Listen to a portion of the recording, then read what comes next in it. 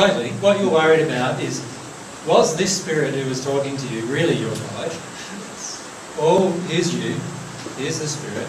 Was this spirit really your guide? You already know the answer, actually. Was it really your guide? What do you feel? What's the... You think it was. But let's go with your feelings. What do you feel? I guess if I am questioning it, then it can't be right.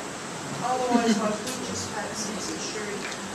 Yeah, it's a, it was a spirit, in not a bad place, coming to you, claiming to be you. Sorry? Yes, because he knows that's the terminology you use for it. Yeah. Like, I was talking to a friend of mine a few weeks ago. She, he said there's two spirits here from the 22nd sphere. I go, oh yeah. Um, they're both women.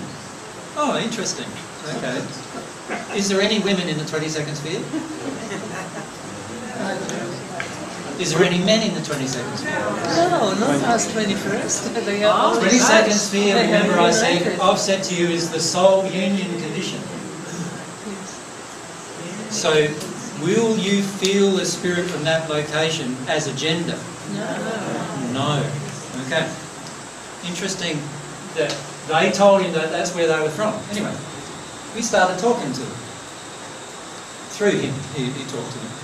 And I started talking about their emotions. Their emotions were they were attached to this man because he he looks after women, this man does.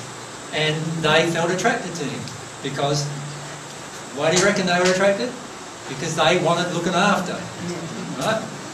And I actually talked to them, and eventually we talked, and they were in the first sphere, but they used all the terminology they could to, because they can read his mind, of course. They used all the terminology they could to convince him they were in the 22nd sphere.